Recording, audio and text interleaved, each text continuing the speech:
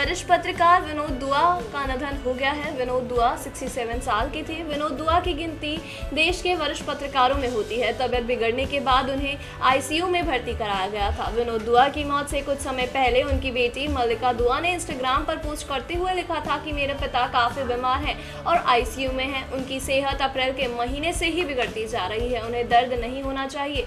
सब उन्हें बहुत प्यार करते हैं और मैं आप सबसे गुजारिश करती हूँ कि दुआ करें कि उन्हें कम से कम तकलीफ़ हो। जानकारी के मुताबिक अप्रैल के बाद से ही उनकी सेहत लगातार बिगड़ रही थी और गंभीर हालत में आज उन्हें आईसीयू में एडमिट कराया गया था।